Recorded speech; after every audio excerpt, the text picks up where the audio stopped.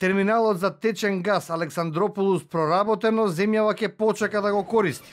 Од новото раководство на државната ЕСАМА објавија дека предходното раководство има закупено половичен капацитет на газ за до крајот на годинава, но нема како да го донесе до корисниците. Информациите кои ги објави ЕСАМА велат дека интерконективната точка Кјустендил Жидилово не била закупена за оваа година и тоа е единственото место од каде земјава се снабдува со природен газ. Тоа државата ќе ја чини 3 милиони евра.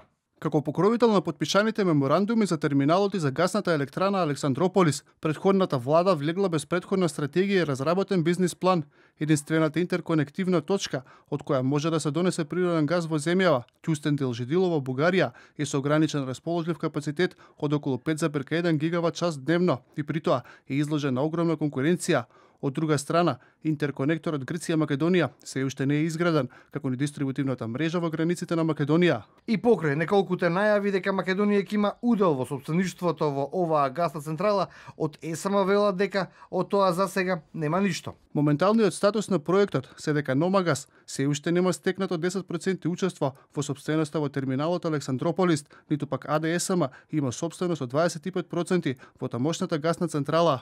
Телевизија 24 побара став и објаснување од делот поранешното раководство на ЕСМ и на Номагаз. Начелно сите кои денеска ги добивме ни ги потврдија овие информации, но никој не сакаше да коментира јавно на камера.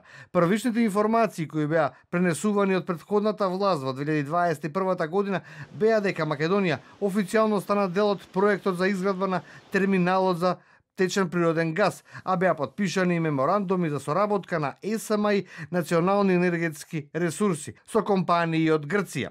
Првичниот план беше земјава да инвестира 25% од вредноста на гасната централа во Александрополус од 800 мегавати, која треба да чини околу 400 милиони евра. Пресметката вели дека државата требаше да влезе со околу 100 милиони евра за да поседува една четвртина од централата. За сега нема ништо од тоа.